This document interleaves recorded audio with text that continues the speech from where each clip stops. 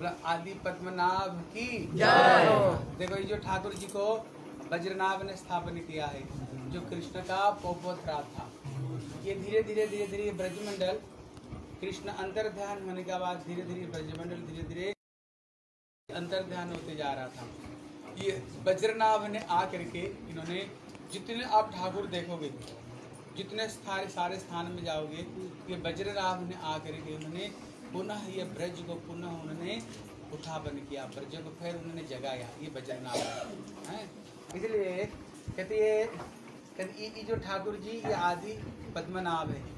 पद्मनाभ मतलब क्या? इसलिए मैया कुंती भगवान को स्तुति करती हैं। नमो पंकज सुंदर हैं? इसलिए रूपो गोस्वामी कहते, खबरदार, कभी वृंदावन में मत जाओ। भूल से अगर चले गए तो कभी श्री गोविंद देव का दर्शन मत करो, ठाकुर का दर्शन मत करो। बोले, क्यों? हम तो दर्शन करने के लिए आए। बोले, एक बार दर्शन कर लिया ना, फिर मेरा दोस्त नहीं था ना? कहते उसके बाद देखने के बाद फिर दुनिया को देखने की इच्छा नहीं रह जाएगी हैं? इसलिए उसको तेरी सी चितवन नहीं, वो तीर चलाते हैं। मीठी मीठी मुस्कान नहीं वो जादू है वो जादू है। कहते उसके बाद देखने के बाद फिर सारा दुनिया को फिर भूल जाओगे। हम्म, इसलिए भगवान बोले सुंदरम भूषणंग भूषणांग में।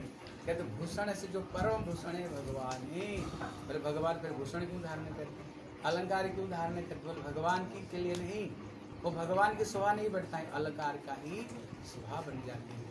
कहते भगवान वस्त्र क्यों फिर पहनते हैं? पर इसलिए कहते उनको ऊपर किसी नज़र नहीं लग जाए ठाकुर जी के ऊपर किसी नज़र नहीं लगी जाए इसलिए ठाकुर जी, ये अलंकार और पोशाक ब्रह्मा जी हैं, ज्ञानों में परम उगी हम, जो परम उगी हो ज्ञान है।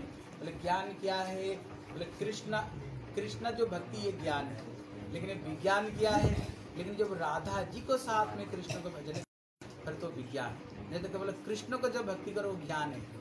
इसलिए वृंदावन में आओ मथुरा में आओ इसलिए कोई कृष्ण कृष्ण नहीं बोलते हैं। क्या बोलते हैं? राधे राधे, राधे। क्या बोलते हैं? राधे, राधे। हाँ सबके सब श्री राधा जी का नाम लेते हैं। इसलिए कहते विज्ञान तभी होगा जब राधा जी को साथ में कृष्ण हो।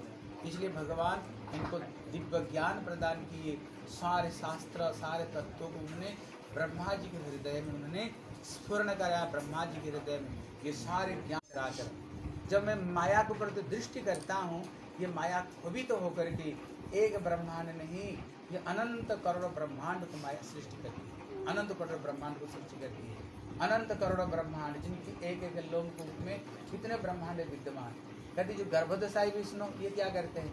हर ब्रह्मांड में प्रवेश करते हुए अपना पसी, पसीना से आधा ब्रह्म और इनकी नाभि कमल से ही ये ब्रह्मा जी सृष्टि